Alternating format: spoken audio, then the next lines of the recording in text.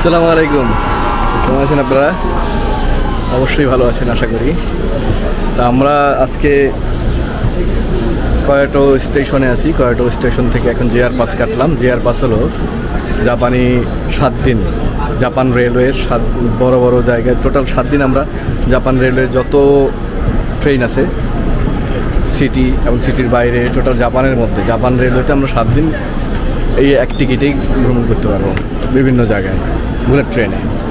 তো আমরা এখন স্টেশন আছি, বুলেট ট্রেনের জন্য অপেক্ষা করতেছি। এখন যাব আমরা ওসাকা। আমরা এখন স্টেশনে আছি, দেখতে পাচ্ছেন। আর আমাদের লাইন হলো এইটা, বুলেটের লাইন, যেটা আসতেছে। ওসাকা যাব।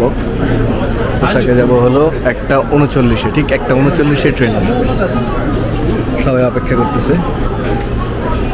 ওসাকা যাব, ওসাকা থেকে আমরা ট্রেন চেঞ্জ করব। ট্রেন চেঞ্জ করে আমাদের এখনের ডেস্টিনেশন হলো হিরোসীমা হিরোসীমা যেখানে নিউক্লিয়ার বম পড়ছিল, সেই হিরোসীমা সেই হিরোসীমায় যাব আমরা। তো ওইখানটা দেখার পরে আমরা টোকিও ব্যাক করব। এখন জাস্ট আমরা স্টেশনে ট্রেনের অপেক্ষাতেই আসছি অল্প একটু সময়ের জন্য বের করলাম ক্যামেরাটা, এই স্টেশনটা একটু দেখাচ্ছি। স্টেশনের মাঝখানে সেভেন ইলেভেন আছে। তবে এখানে কোনো মানুষ নাই, টোটালটাই আপনার ভেন্ডিং মেশিন ভেন্ডিং মেশিন দেওয়া। সেভেন ইলেভেনেটাও ভেন্ডিং মেশিন দেওয়া। ওইখানেও একটা শপ আছে, খাবারের। আমাদের টাইম হয়ে গেছে, এখন আর পাঁচ মিনিট আছে। পাঁচ মিনিট পরেই আমাদের ট্রেন আসবে। আমরা অপেক্ষায় আছি সবাই।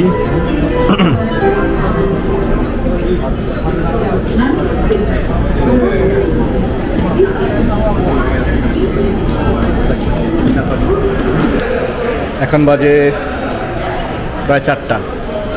তো আমরা হিরোসীমা এসে পৌঁছলাম। হিরোসীমা জে আর স্টেশনে আছি আমরা। এখান থেকে আমরা যাব সেই মিউজিয়ামে। এবং সেই প্লেসে যেখানে দ্য লিটল বম নিউক্লিয়ার বিস্ফোরণ হয়েছিল সেকেন্ড ওয়ার্ল্ড ওয়ারের সময়। সেই জায়গাটা দেখতেই সবাই আসি আমরা। এটা হলো হিরোসীমা স্টেশনটা আমরা বেরোয় যাচ্ছি স্টেশন থেকে। এখন নিচে নেমে ট্যাক্সি কিংবা বাস নিয়ে সেই টুরিস্ট স্পটে যাব। এটা হলো হিরোসীমা হিরোসীমা সেই অ্যাটমিক যেখানে বিস্ফোরণ করছিল সেকেন্ড ওয়ার্ল্ড ওয়ারের সময়, সেইখানে। তবে আমাদের হাতে সময় কম, কারণ আমাদের আবার এখানে ব্যাক করতে হবে টোকিও যাওয়ার জন্যে, এই বুলেট ট্রেন ধরার জন্যে। বুলেট ট্রেনের লাস্ট টাইম আমাদের সাড়ে ছয়টা দিয়েছে এখানে। তো আমাদের আবার যেখানেই থাকি না কেন সাড়ে ছয়টার মধ্যে ব্যাক করতে হবে।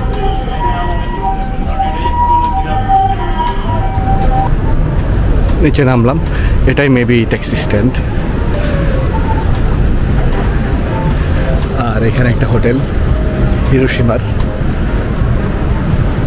the hotel Granvia Hiroshima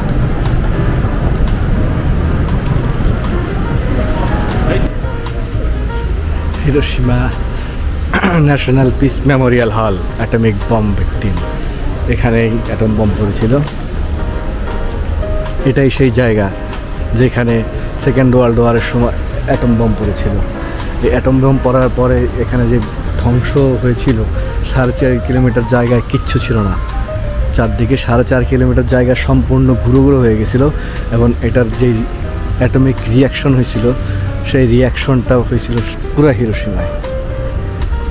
বিস্তীর্ণ হিরোসীমা সম্পূর্ণটা তখন বিধ্বস্ত।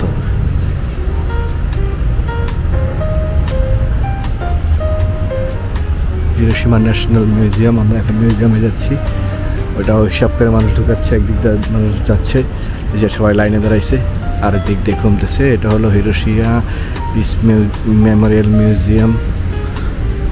যেহেতু এটা মিউজিয়াম, এটার মধ্যে তখনকার কিছু স্মৃতি, ধ্বংসাবশেষ, তখনকার কিছু জিনিস আছে। তো ভিতরে যাই, গিয়ে দেখি। আমরা এখন মিউজিয়ামে, মিউজিয়ামের মধ্যে আছি। হ্যাঁ। এটা আমাদের পিস মিউজিয়ামের সেই টিকিট আমাদের টু হান্ড্রেড ইয়েন করে লাগছে, দুইশো ইয়েন আমরা এখন ভেতরে যাব এক্সিবিশনে হিরোসীমা বিফোর দ্য বম এই ছিল হিরোসীমা এটা ছিল হলো বম বিস্ফোরণের আগে। হিরোসীমা বম বিস্ফোরণের আগে ছিল এই সিনারি, যা এখন কেবলই ছবি।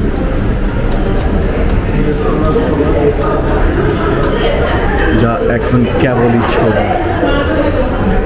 And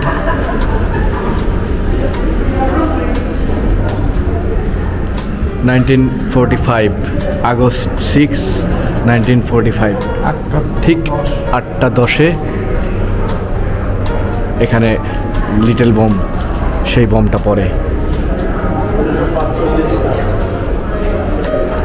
এই ছিল হিরোসীমার ঠিক বমটা ফোটার পরে দৃশ্য।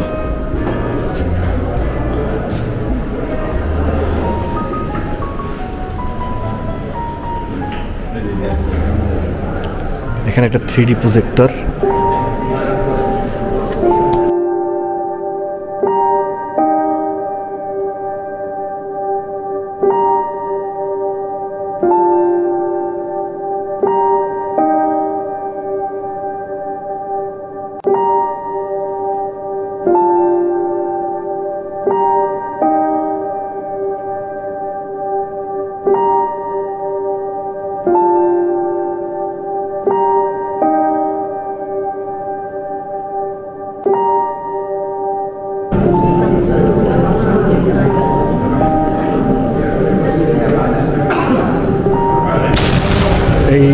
বম বিস্ফোরণ হলো।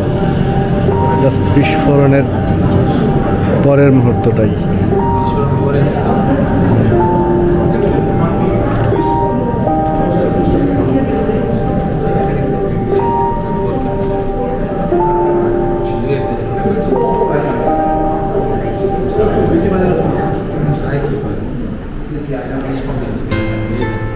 বিস্ফোরণের পরে আর কিচ্ছু নাই সব শেষ। একেবারে ছাই হয়ে গেছে সব।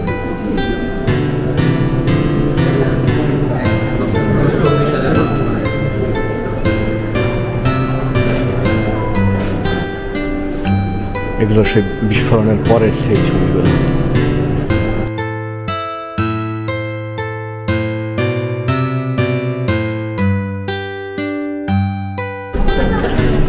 রিয়েলিটি অফ বমিং এটা সেই রিয়েলিটি অফ বমিং গ্যালারি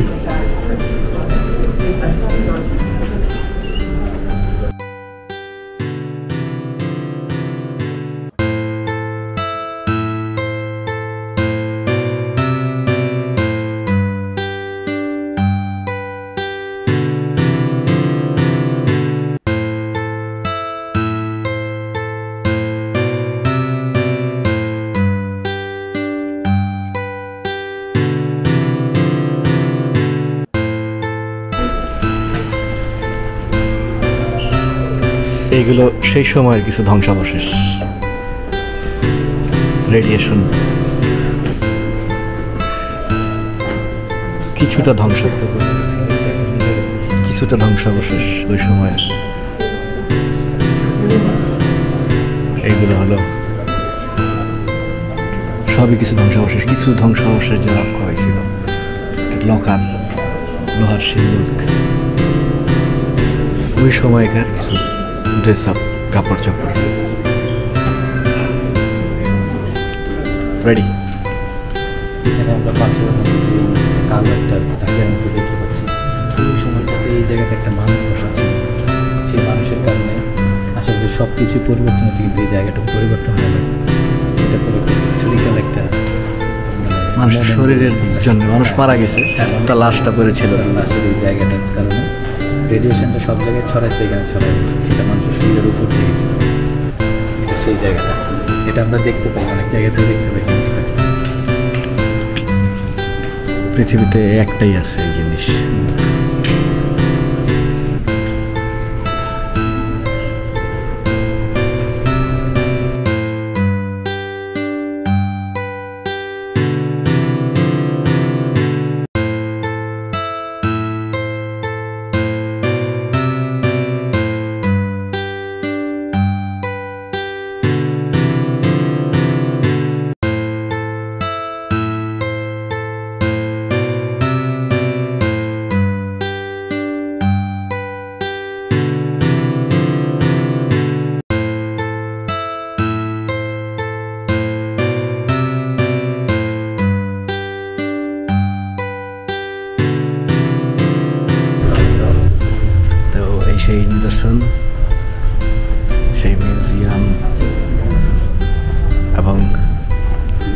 এই সেই জায়গা।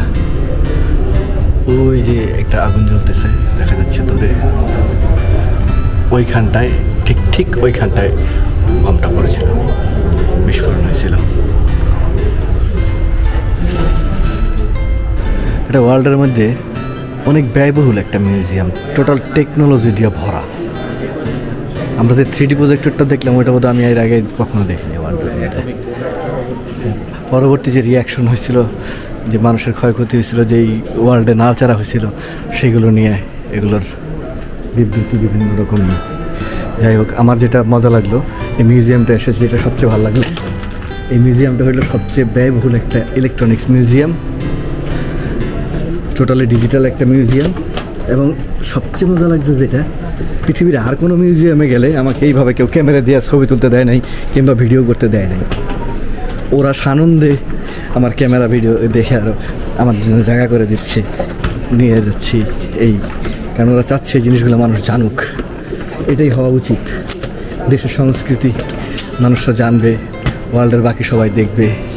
অ্যাকচুয়ালি এটাই হওয়া উচিত। সম্পূর্ণটা একটা স্ক্রিন প্রজেক্টর তার মাঝখানে মাঝখানে আবার ছোটো স্ক্রিন প্রত্যেকটা জায়গায়, আর এখানে কিছু বই টইয়ের দোকান আছে। ওই সময়কার লেখা। এই সেই নিদর্শন। যেখানটায় বোমটা পড়ছিল ঠিক এইখানটায়। এই সেই গ্র্যাভিয়ার্ড পাথর দিয়ে আটকানো আছে এইখানটাতেই সেই বোম পড়ছিল। সেখানটায় পড়ছে। ভেরি স্যাড প্লিজ এটা হলো অনির্বাণ শিখা। এটা কখনো নিববে না।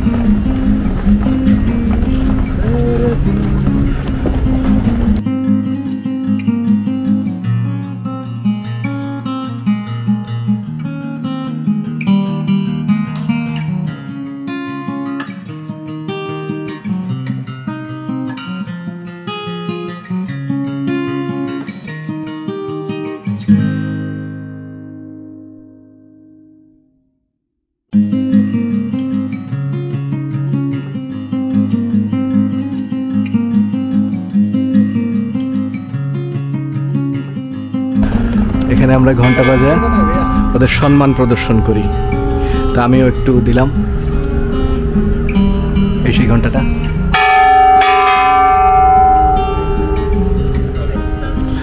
আমরা যে আসছি, জানান দিয়ে গেলাম। সম্মান প্রদর্শন করে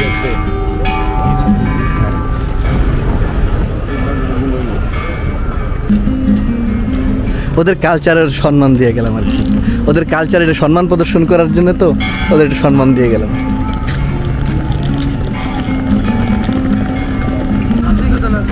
এই যে আমার সামনে যে বাড়িটা দেখতে পাচ্ছি আমরা, লেকের ওই পারে, এই বাড়িটা রক্ষা পাইছিল। ওই সময় ঠিক এই অবস্থা ছিল এই বাড়িটার তখন থেকে এই বাড়িটা এরকমই আছে। এটা অনেক ইম্পর্ট্যান্ট একটা বাড়ি ওদের জন্যে। এটা এইভাবেই আছে, এভাবেই থাকে। হিরোসীমার একমাত্র জিন্দা নিদর্শন, সেই বাড়ি। এখন রাইসেল ভাইকে কিছু বলার জন্য অনুরোধ করতেছি। হিরোসীমার সেই মেসাকার মিউজিয়ামে এসে আপনার কেমন লাগতেছে? স্পিচলেস আসলে আমি ট্রমাটাইজ বলার মতো কিছু নাই। স্পিচলেস বিদায় বিদায়। হৃদয় পৃথিবীতে এইরকম আর কোনো ঘটনা না ঘটুক আমরা এই কামনা করি এবং যারা ওই যুদ্ধ ওই দিন মারা গিয়েছে তাদের বিদেয়ী আত্মার আমরা সৃষ্টিকর্তার কাছে তাদের জন্য আমরা হ্যাভেন আশা করি তারা রেস্ট ইন পিস থাকুক। এইটা দিয়েই আমি আসলে আমি কথা শেষ করতে চাচ্ছি। ধন্যবাদ। ধন্যবাদ আপনাকে ধন্যবাদ অসংখ্য ধন্যবাদ।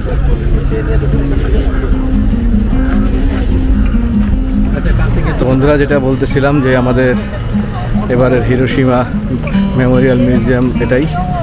ঘুরে ফিরে দেখলাম ট্যুর তো এখন আমরা যাচ্ছি হলো সেই আবার আমাদের বুলেট ট্রেনের উদ্দেশ্যে। বুলেট ট্রেনের উদ্দেশ্যে গিয়ে এখন বুলেট ট্রেনে করে চলে যাব টোকিওর উদ্দেশ্যে। আমাদের হাতে সময় খুব কম এখান থেকে ট্যাক্সি নিয়ে যত তাড়াতাড়ি পারি আমরা স্টেশনের উদ্দেশ্যে চলে যাব। ক্ষুদা লাগছে, খুব ক্ষুদা লাগছে আমাদের। সবারই ক্ষুদা লাগছে, কারণ সারাদিন কিছু খাই নাই, কিন্তু এখন খাওয়ার সময়ও নাই। তো যাই হোক, খাওয়া দাওয়া তো হবেই। কিছু না কিছু একটা ব্যবস্থা হবে। এখন আমরা ট্রেনের উদ্দেশ্যে যাই। বলে ট্রেনের উদ্দেশ্যে মেট্রো রেলে। তো এটা আমার একটা শখ ছিল ছোটোবেলা থেকেই। যে হিরোসীমা যেখানে বোম পড়ছে আমাদের সবাই ছিল।